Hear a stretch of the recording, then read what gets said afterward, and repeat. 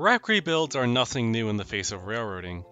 Often, you might not even know that the unit was involved in a wreck, but sometimes that's not always the case. Union Pacific 7312 is probably the most notable case of an unusual wreck rebuild, and it's definitely noticeable. 7312 was built in 1998 by General Electric as one of the many new AC6000s by the Union Pacific.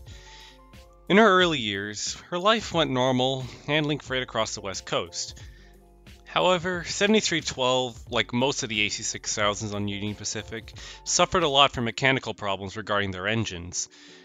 A bit of small trivia 7312 is one of the UP's many convertible AC6000 CWs, and as a result of this, 7312 was reclassified as an AC4460 CW.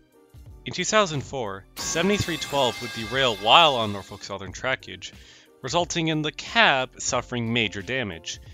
Instead of sending the big engine back to home territory for repairs, Union Pacific sent the locomotive to NS's Juniata shops to be repaired.